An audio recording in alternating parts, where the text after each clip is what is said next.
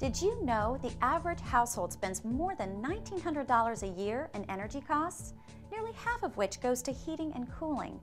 A programmable thermostat, used properly, can keep you comfortable while helping you use less energy, prevent greenhouse gas emissions that contribute to global warming, and save around $180 a year in energy costs.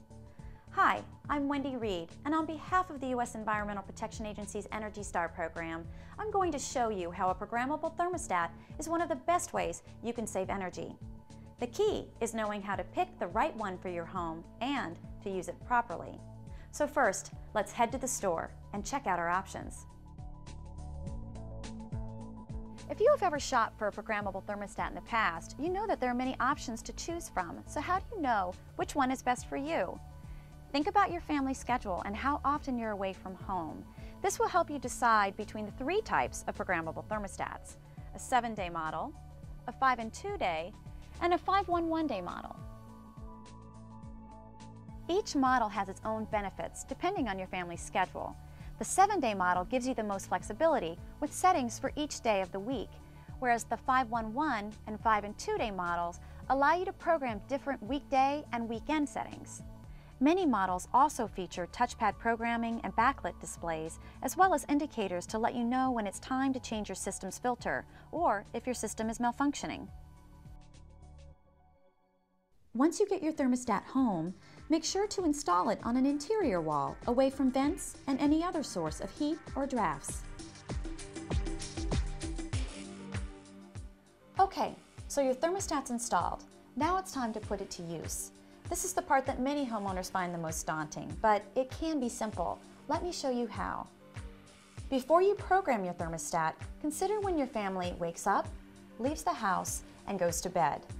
You can set your thermostat according to your family's schedule to automatically adjust the temperature at each of these times. Here are a few setting recommendations from the EPA. In the winter, set the temperature to drop by 8 degrees when you're away and when you're sleeping. In the summer, set the temperature to go up by 7 degrees when you're away and 4 degrees when you're sleeping. You can also ask your HVAC contractor how to optimize your settings during your next preseason checkup.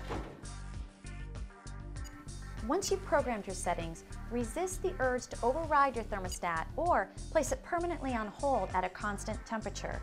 Remember, turning the temperature way up or down won't help heat or cool your home any faster, but it will make your system work overtime and can wreak havoc on your energy bills. There are times when you should adjust your settings, like when going out of town. Use the hold or vacation button to help you save even more when you're away for a long period of time. If you're having trouble programming your thermostat, don't give up. Just get out your manual. It has all the info you need to program and maintain your optimal settings. If you don't have the manual, give the manufacturer a call or check out their website.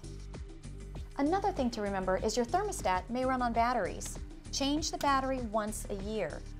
Some models even come with indicators that let you know when it's time to replace the battery.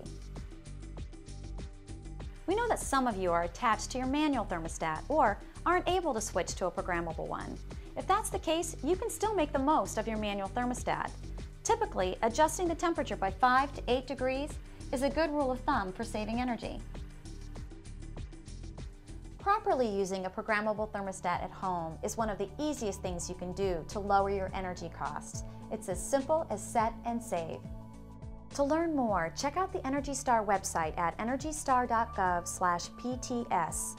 And remember, even small energy-saving changes at home can make a big difference in helping us win the fight against global warming. I'm Wendy Reed, and on behalf of the Environmental Protection Agency, thanks for watching.